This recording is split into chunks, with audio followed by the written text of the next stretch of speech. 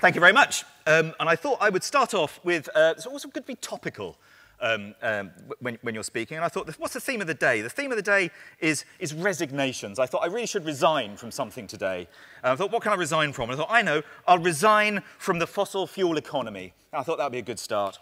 Um, thank you. Thank you very much. Whoa, thank you. Thank you. One night only. Um, and um, the other thing which struck me is that it's such a beautiful word, meaning. But of course, it's also the first step towards having an existential crisis.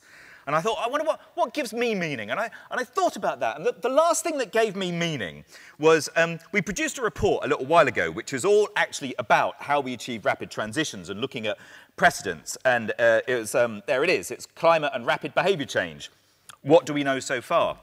And when we launched that, um, as you do, we sort of scour social media to see who's saying nice things about you. And I came across this brilliant quote from um, uh, uh, uh, an account that described itself as women plumbers. And I thought, well, that is a really good constituency to have behind you. Um, but even better than that was the name of their company. That what are you going to call a firm of exclusively women plumbers? And they'd chosen to call themselves Stopcocks. I thought, my time on this planet is well served and I can leave it happily. That was rather good. Um, naming is another big, big, big issue. As um, the, the kind of the, you've witnessed the tragic scenes of the environmental extremes in America at the moment, and um, you know, you just you could not make it up that a town called Paradise is burnt to the ground. I mean, Joni Mitchell sang about paving over paradise. I don't think she ever envisaged it being burnt to the ground. And I thought that we need, we need to use naming to our advantage. And I wonder whether, in fact, we shouldn't name. Um, we're in the middle of hurricane season as well now. I wonder whether we should actually name hurricanes instead of giving them these kind of anodyne names like Kevin and indeed my own name taken in vain, Andrew, and things like that. We should instead name them after fossil fuel companies. Hurricane Exxon.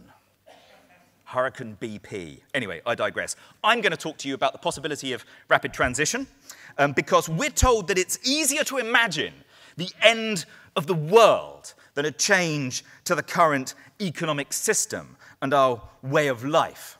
And we were told just a couple of weeks ago, the latest state of the art science from the IPCC, that to hit the target that the world has signed up to, the 1.5 degree warming target, we are going to need and these are their words rapid, far reaching, and unprecedented change across the whole of the economy and society. And of course, with brilliant timing, the British government um, chose to have a Green GB Week um, when they had their European launch.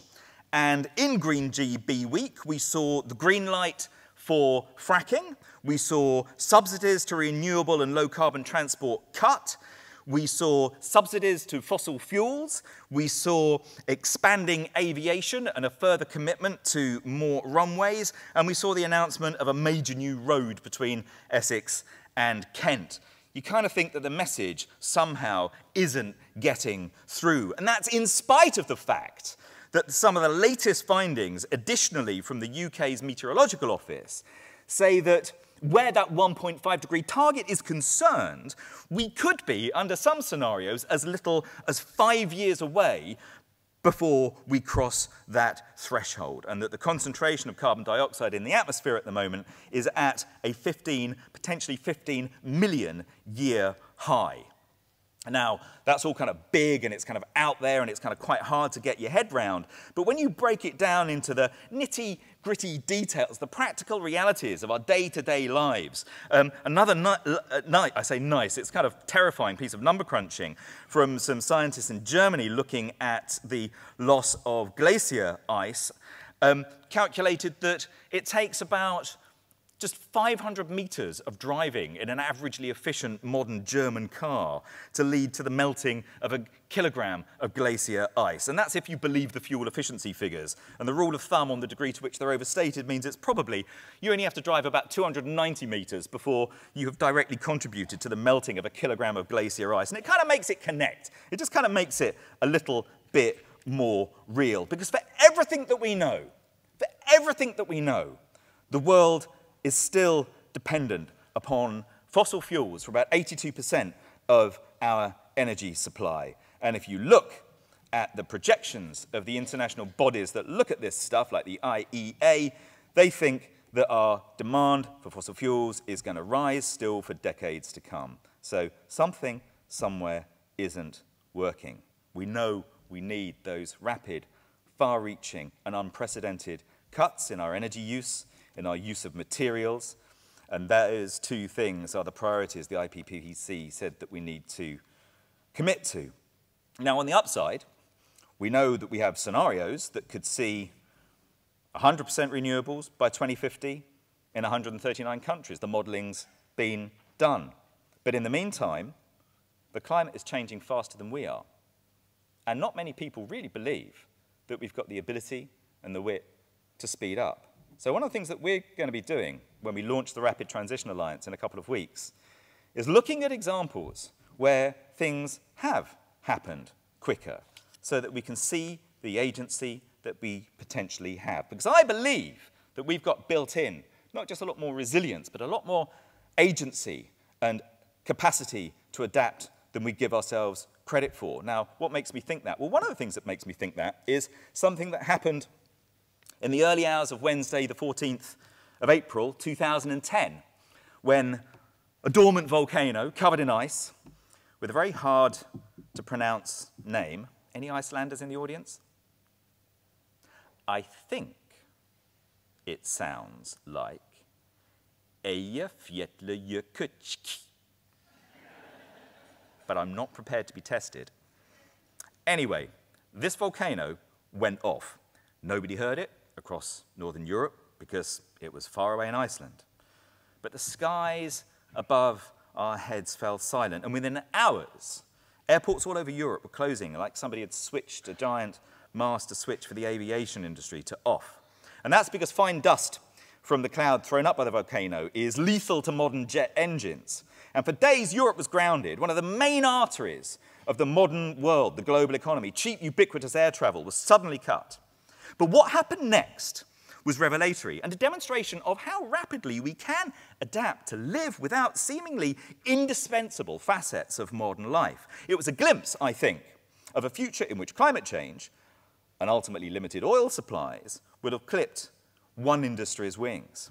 It was inconvenient, no one was prepared, but supermarkets quickly substituted local produce for perishable luxury horticultural goods that normally get flown in.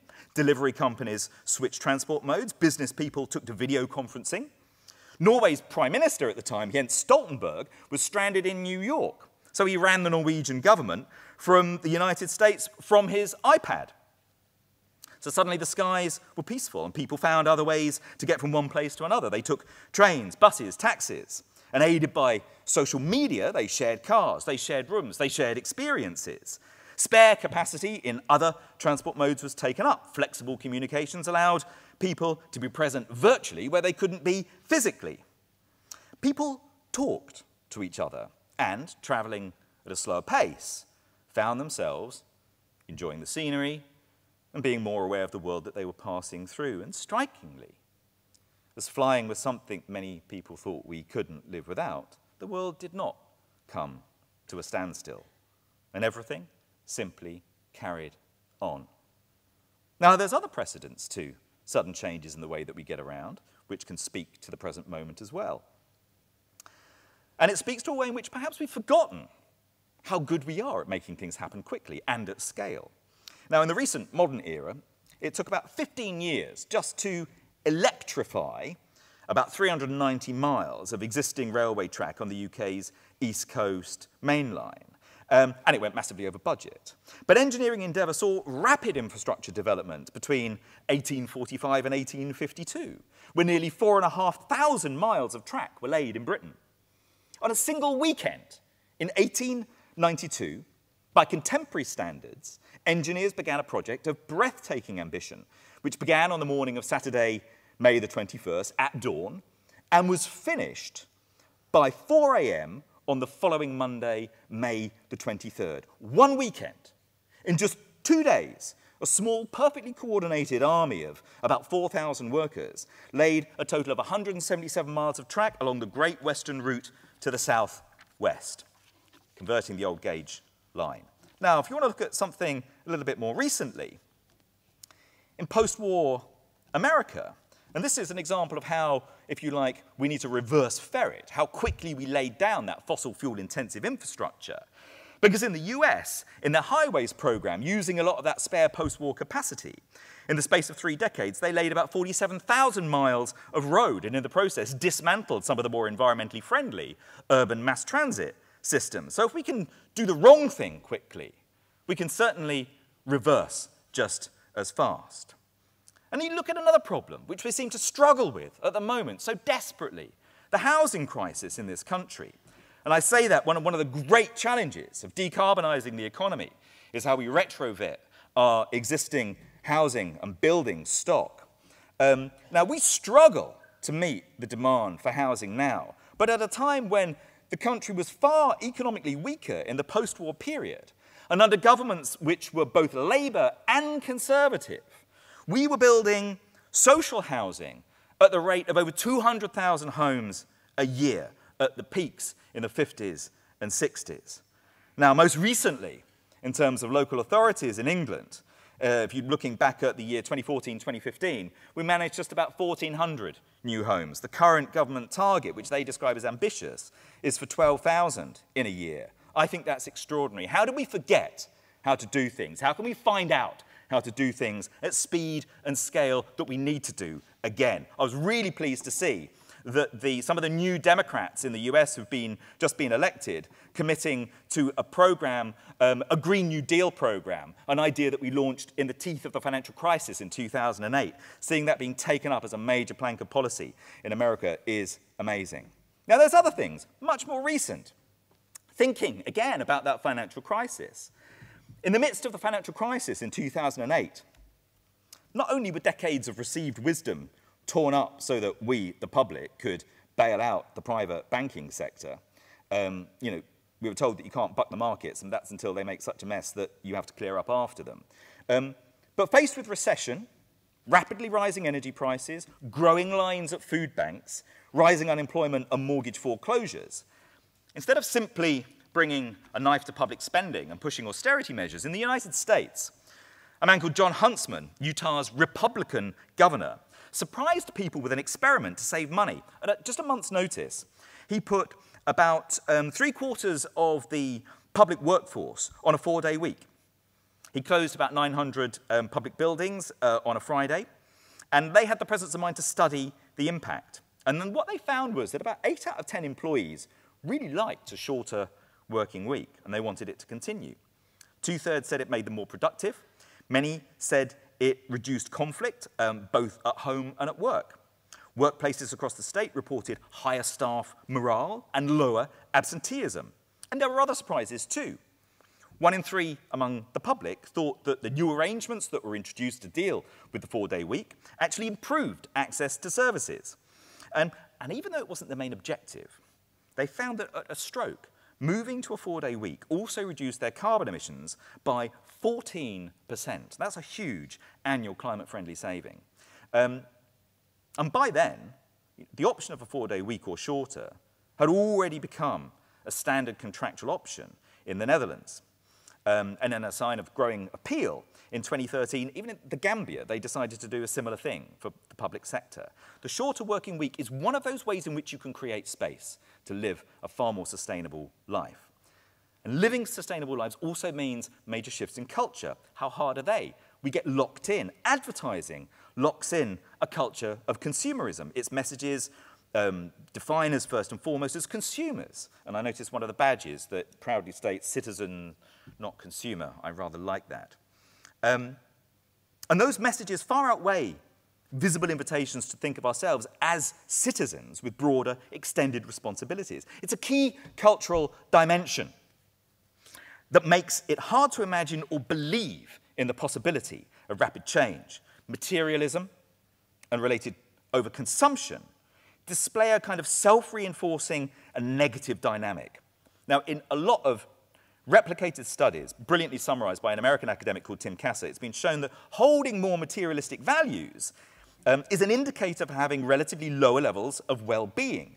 Merely being exposed to images of consumer goods triggers materialistic concerns, which makes us feel worse, and is linked to more antisocial and less pro environmental behavior. It's also been shown that children exposed to advertising are seen to be less likely to interact socially. And there's other studies which show how by simply referring to people as consumers rather than citizens, it triggers more competitive and selfish behavior. Well, that sounds like quite a, quite a big block, but there's already some practical examples of action to combat that. Um, in uh, hardly uh, the world's center for being party pooping, in Brazil in 2007, in its biggest city, Sao Paulo, uh, led by a conservative mayor, Gilberto Kassab, they introduced the Clean City Law. The result was a near total ban affecting billboards, digital signs, and advertising on buses. In the United States, there are several states which strongly control public advertising too. And in Paris, more recent rules have reduced advertising on the city streets by 30% and capped the size of hoardings. No adverts are allowed within 50 meters of school gates. The Indian city of Chennai banned billboard advertising, and in Grenoble in France, they recently banned commercial advertising in public spaces in the city's streets to enhance opportunities for non-commercial expression. Several hundred advertising signs were replaced by tree planting and community and art, uh, notice boards and spaces for artistic activity. Now, in recent decades, in terms of belief in the possibility of change, we've seen huge and relatively quick changes in behavior around smoking, around driving, around sexual health. And I wonder if the evidence very recently is that behavior change and the possibility of attitude change may be accelerating. Look at what's happened around single use plastics, around campaigns like everyday sexism, around the possibility of having male only panels. Um, I know I'm a man, but I'm certainly not male only on this platform today. Um, attitudes around sexual identity, the idea of men only clubs. History is teaching us nothing, but only punishes us for not learning its lessons, said the great uh, medieval historian uh, Vasily Klyuchevsky, Russian guy. Um, but I don't think that's true. I think we can learn from the past. And what we're going to be doing with the Rapid Transition Alliance, which we would love all of you to have a look at. And if you're part of an organization you think it would be appropriate to sign up and affiliate, please do. We're going to share evidence-based hope on the possibilities and the practicalities of rapid transition to more socially just and sustainable ways of being. If we believe in the possibility of change, we bring it that much closer. So just to finish, I'll leave you with my favorite words, which many of you may well have heard before, but I love them, and I think it's almost good to say them like a mantra. The great public intellectual Raymond Williams, who said that to be truly radical is to make hope possible rather than despair convincing. And in the teeth of everything we face, I think that is our challenge today. So thank you very much for listening.